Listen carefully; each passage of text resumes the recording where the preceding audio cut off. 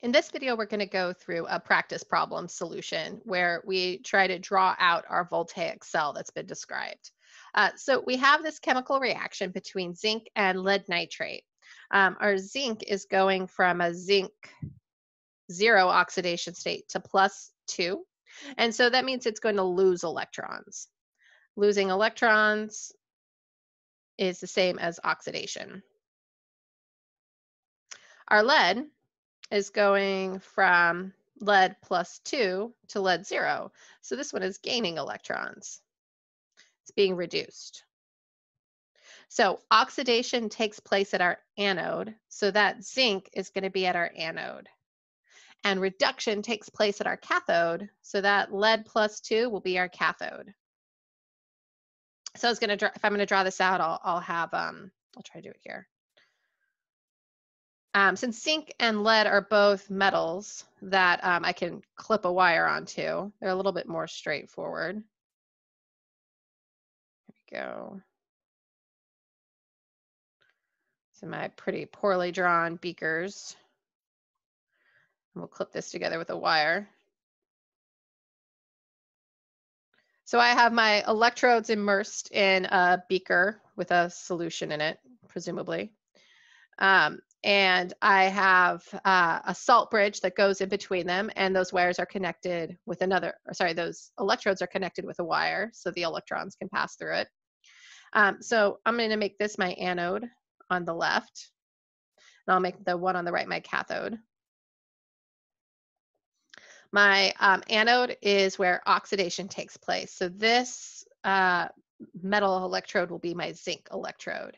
And the one on the right will be my lead electrode, and it'll be the metal. Now, in the solution, I'm going to have the electrolyte. So for the zinc that oxidizes, that's going to be my product, that zinc plus two. Um, so there'll be zinc, um, in this case, nitrite, NO3, 2 in solution. Uh, and for my cathode where reduction takes place, my electrolyte solution is really my um, prod, or sorry, my reactant. So that'll be the lead NO32, the lead 2 plus. All right, and I've drawn it. So now I'll expect that electrons are going to flow from the oxidation side to the reduction side. Oxidation, I'll lose those electrons. So I'll take electrons from the zinc side. They'll flow over to the reduction side of my voltaic cell where that lead will take the electrons. And so I'll see, in this case, zinc metal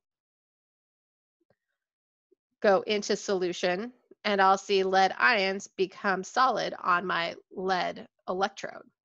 So it'll gain weight, the lead, and the zinc will lose mass.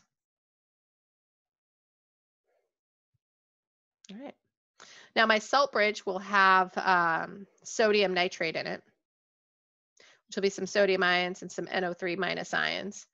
Those uh, sodium ions are going to go into the cathode side, and the anions are going to go into the anodes. The anions will go into the anode side. That actually makes it easier to remember because they're both A. Uh, so that is my voltaic cell drawn, drawn all the way out. If I want to just represent this as um, using cell notation, um, remember I'm going to start with electrodes and then go into electrolytes and then salt bridge. Um, so for, we start with the anode on the left, cathode on the right. So here, anode.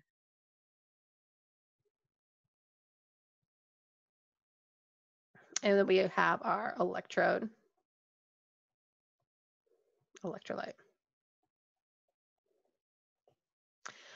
So we'll start on the anode side. Our actual electrode is that zinc metal.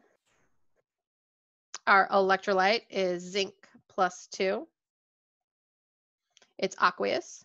And we haven't been given the concentration in this problem, so we can just leave it as aqueous. If we knew the concentration, like one molar or 0.1 molar, we would include that.